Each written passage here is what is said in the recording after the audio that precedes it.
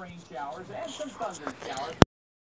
Okay, um. Moderate to heavy rain just west of Uh, uh. and uh, some showers near St. Hi, Charles. guys, I'm We back. Go north into Chesterfield. Illinois. Some light rain there. The Here my- activity near Here, my it's granny mammy. non-severe, Just a flash of lightning from time to time and a heavy downpour. Here's uh, South St. Louis. Just- showers okay. The fan. murky sky. 50 in Alton. It is only 49 in Litchfield. But look at Potosi, 60 degrees as well as Cook Station. So for our afternoon, temperatures will struggle to reach 61 in the metro area. It will be windy, wind south of 15 to 25, but this system is progressive. Hey, guys, I'm back here.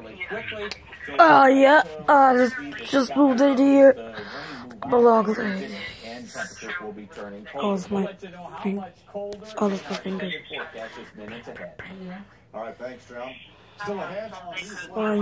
alarming news about bed bugs, those details coming up, and the tattoos that are intended to replace a trip Oh, I'm on a bucket of Oh, sorry. Those plastic bowls and tubs. See, see, I see all those sprites. And there's a new technique for blowing drones out of the sky.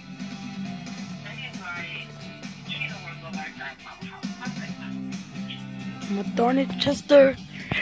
We are the Chester. No, I died. I didn't tell you.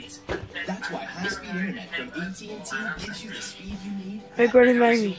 Hey, Granny Mammy. Look, you know, you better, I, I tell you what, you better not video. And I'm gonna tell the ladies too that you videoing. All on one bill. No matter what you use it for, it's You, uh. Bye, guys.